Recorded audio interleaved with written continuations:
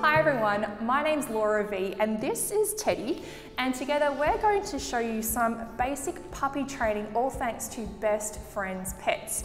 Now today we're talking a little bit about rewards. So what are the things that your puppy loves more than anything else in the world? And that's really important because if we can find out what our puppy loves, then we can teach them to work with us. Now, Teddy obviously loves toys, which is great, so I'm getting to know what he's loving. So getting to know what your puppy loves and what they're willing to work for really is so valuable at getting them to do what you want them to do.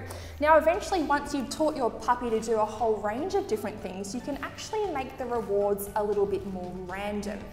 Making the rewards more random, so that means not having the treat every single time you teach your puppy to do something, can actually motivate your puppy to want to work with you more. Something really important to note is that you don't always have to use treats to teach your puppy to do wonderful things. You can incorporate their daily intake of food as well, which prevents their little um, uh, stomach line from getting too big and also from potentially getting sick.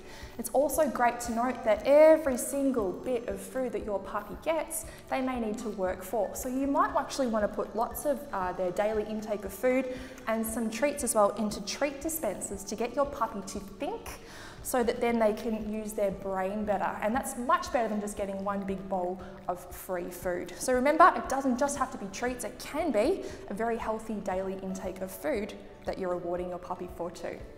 The team at Best Friends Pet Stores will be able to help you find the absolute perfect reward for your puppy, which is so important. They have got the biggest range of pet treats I have ever seen and they will help you find the perfect one for your puppy, which will in turn help you to teach your puppy to be the best that they can be.